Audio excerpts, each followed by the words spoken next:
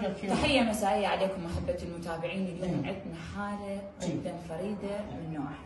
أي. يعني اليوم إحنا نقول واحد يجي يسرقك ويروح لكن اليوم أمك تسرقك وهي واقفة. عباس أخو الشهيد حسن.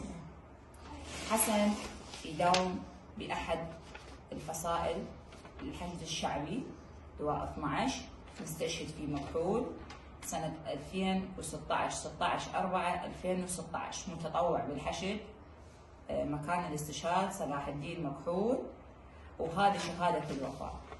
شهادة الوفاة من 2016 لحد الآن لا عباس ولا أخوه الثاني. ولا عائلته. عندهم حقوق.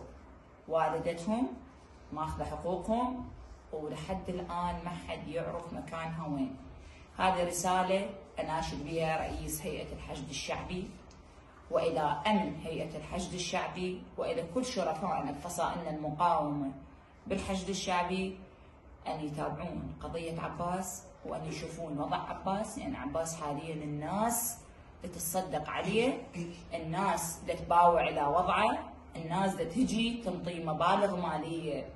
فيا ناس يا عالم هل يعقل أخو شهيد اليوم؟ يكون بهذا الموقف. أنا أنتظر استجابة من رئيس هيئة الحشد الشعبي الأستاذ فالح الفياض وأنا أعرف أنه هو ما راح يقصر بهذا الموضوع. قبل تحياتي